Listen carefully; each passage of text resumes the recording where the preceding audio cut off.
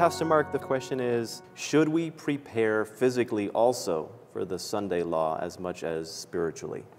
Should we prepare for the coming crisis that's going to come when no man can buy or sell? It's a very interesting question, and one has to understand the sequence here.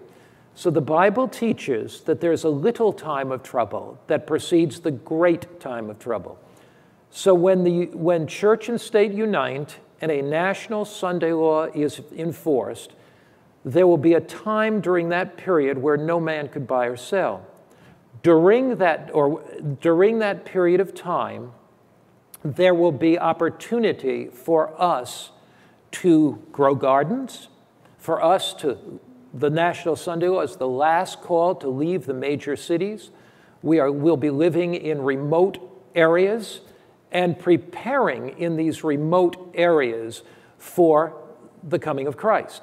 Then, as everybody has an opportunity to make their final decision from the time of the National Sunday Law, the mark of the beast, until the close of probation, then during that time, we do make physical preparation. But after the close of probation, when everybody has made their final irrevocable decision, when that ha- once that has taken place, then we will no longer have to prepare because it's at that point that our bread and water will be sure. It's at that point that the angels will feed us. Um, you find that in the Bible very, very carefully. Uh, Isaiah 33, verse 14, uh, and uh, onward, it, it, talks about the fact that, that uh, our bread and water will be sure.